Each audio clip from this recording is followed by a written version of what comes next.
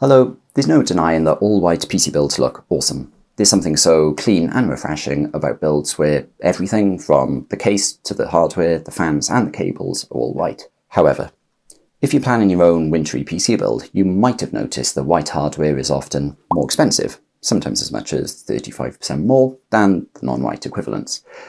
But why is this? Is it corporate greed? You know, an attempt by companies to rip us, rip us consumers off? Or are there any legitimate reasons for this? Well, it's actually a bit of both. There are three main reasons why white components are often more expensive. These are supply and demand, corporate greed, sort of, and also manufacturing reasons. Firstly, supply and demand. This is a fairly basic economic principle that explains why prices rise when demand rises, but conversely, prices fall when supply rises. To explain this idea, imagine that there are a hundred of us living in an old medieval time, town where there's only a single baker. We were all fairly hungry, but due to an issue with the furnace, there were only 25 loaves to purchase. When people come to buy, they will barter and negotiate, and in general, the richest 25 residents end up with the loaves, let's say at an average cost of uh, 15 euro per loaf. The other 75 go hungry, sorry everyone. This is a case of high demand but constrained supply. But then a few days later, the furnace issues are resolved, and there are now 150 loaves to purchase. Woohoo! No one has to starve. Brilliant. And there's no longer a need to pay 150 euro per loaf. Instead, the price plummets down to 5 euro for each loaf because there are no longer any supply constraints. Winner, winner, chicken dinner. So that story is a fairly basic and historically inaccurate explanation of supply and demand, and it applies to PC hardware too. Not everyone wants to purchase white PC parts. In fact, only a tiny fraction of PC builders end up building a all-white PC. So PC manufacturers will make less all-white components, instead focusing on more on speed, uh, features, and the price of their hardware. While you might think that there's high demand for all-white PCs, and so supply should rise in time, the reality is that many computers are built by big companies like Dell, Asus, and HP, companies that barely ever use white PC parts. As a result, the white PC building market is often in a position of stable demand but constrained supply. In other words, there is a much more limited supply of all white hardware to choose from. This means the white components are naturally more expensive. The second reason that white parts are more expensive is essentially corporate greed.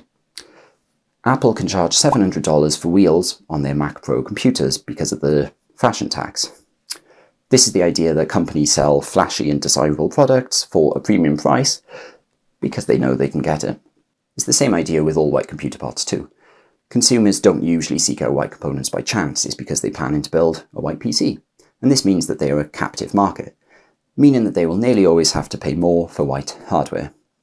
After all, if someone doesn't actually care what colour their PC build is, they can buy pretty much any colour component and have the pick of the market. But if a PC builder only wants a white system, they are stuck with a much more limited choice of products, and so companies can charge a premium, which people then will reluctantly pay.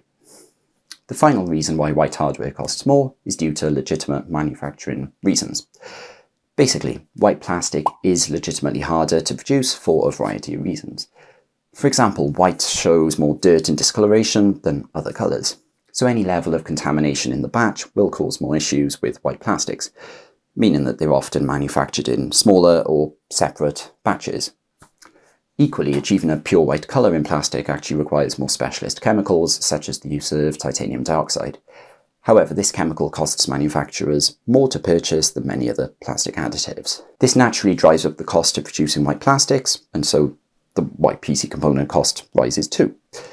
Finally, the use of titanium dioxide makes the plastic more opaque, in other words less transparent, than some other plastic additives, meaning that the moulding and creation of the white coloured plastic can be more difficult. Now, in total, these factors do add up to real extra costs for PC hardware manufacturers, meaning that all white components will cost a little bit more. Of course, this doesn't justify some components being 35% more, that probably is just corporate greed. But if the price is just a few percent higher, it might be down to these extra manufacturing costs, plus supply and demand factors as well. Before wrapping up, I wanted to discuss when you can have too much white in a PC build. While all white PC builds are really special and look great, it can actually be really hard to achieve a fully white build, especially because there are now barely any white motherboards on the market.